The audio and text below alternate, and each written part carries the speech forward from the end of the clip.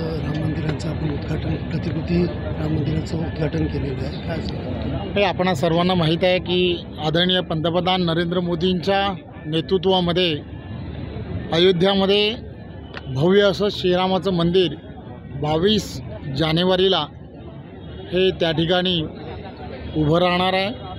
रामलल्ला तिथे प्रत्यक्षपणे तिथे आपल्याला सर्वांना लक्षात येत आहे की बावीस जानेवारी हा संपूर्ण देशासाठी फार आनंदाचा असा क्षण आहे.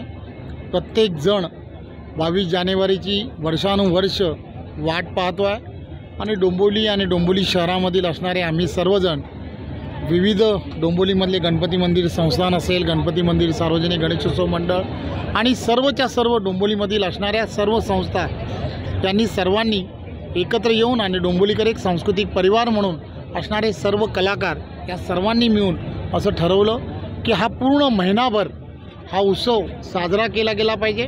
आणि म्हणून काय काय करता येऊ शकतं? तर काही कलाकारांनी आम्हाला सांगितलं की आपण एक अशी प्रतिकृती तयार करावी. आणि म्हणून मग ही भव्य अशी प्रतिकृती तयार करण्याचं काम गेली महिनाभर सुरू होतं. आज ती श्रीरामाच्या मंदिराची प्रतिकृती आपण प्रत्यक्षात पाहतो आहे ती त्यांनी उभारली.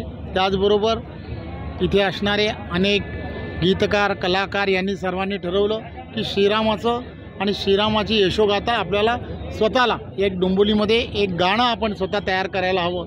आणि म्हणून त्यांनीसुद्धा सर्वांनी प्रयत्न करून एक सुंदर गाणं हे तयार केलं आणि ते सर्व जुन्या नवीन सर्व कलाकारांनी मिळून एकत्रपणे डोंबोलीकरचा असणाऱ्या आमच्या स्टुडिओमध्ये त्या गाण्याचं पूर्णच्या पूर्ण ज्याला सादरीकरण जे आहे सादरीकरण करण्याचं काम केलं.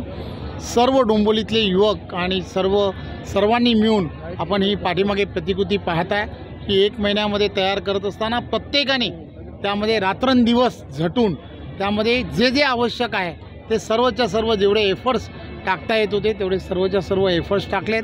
यानंतरच्या काळामध्ये तुम्हाला माहीत आहे की अठरा एकोणीस वीस एकवीस या दिवसामध्ये याच मैदानामध्ये येणाऱ्या काळामध्ये आपल्याला गीतरामायण जे आहे ते गीतरामायणाचा सुद्धा गेली अनेक वर्ष गीतरामायण या ठिकाणी डोंबोलीमध्ये नेहमीच सादर केलं जातं.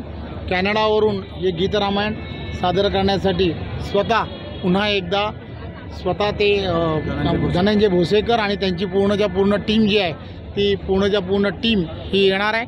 आणि स्वामीनारायण ट्रस्ट आणि सर्व हिंदू विविध संस्था या बावीस तारखेपासून अठ्ठावीस तारखेपर्यंत संपूर्ण श्रीरामाचं असणारं चरित्र जे आहे वेगवेगळ्या दिवशी याच मैदानावरती कसं अवतरता येईल त्या दृष्टिकोनातला एक वेगळा कार्यक्रमसुद्धा असा पूर्णच्या पूर्ण महिनाभर हा कार्यक्रम या संपूर्ण मैदानामध्ये श्रीरामाचं यशोगाथा संपूर्ण समाजामध्ये नवीन पिढीपर्यंत गेली पाहिजे यासाठी कार्यक्रम होणार एबीपी माझा उघडा डोळे बघा नीट.